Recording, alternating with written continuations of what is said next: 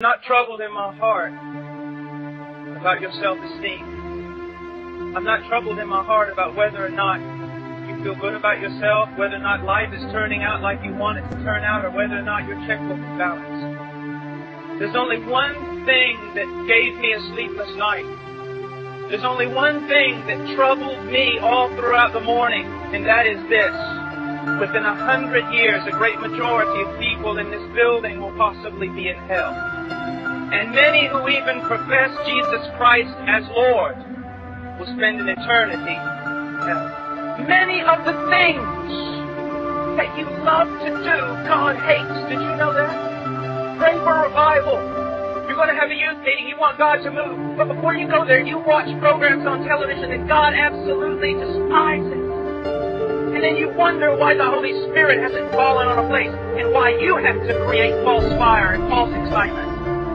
Because God's not in it. God is a holy God. And the only way you and I could ever be reconciled to a holy God is through the death of God's own Son. When He hung on that tree. Because you need to realize the Bible says, For all have sinned and come short of the glory of God, and you have no idea what it means. That we were born radically depraved and God hating that we would have never sought God, never come to God. We have rebelled against God, broken every law. It's not just an issue that you have sinned. The issue is you've never done anything but sin.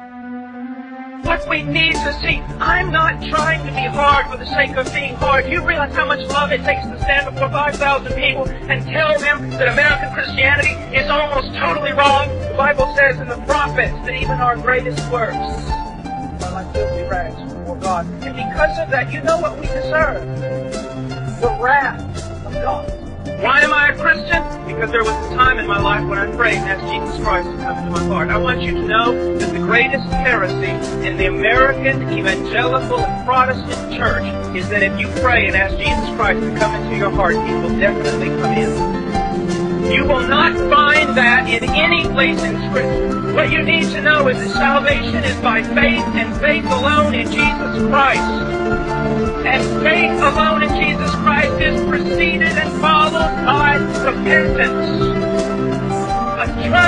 away from sin, a hatred for the things that God hates and a love for the things that God loves. A growing in holiness and a desire not to be like Britney Spears, not to be like the world, and not to be like the great majority of American Christians, but to be like Jesus Christ.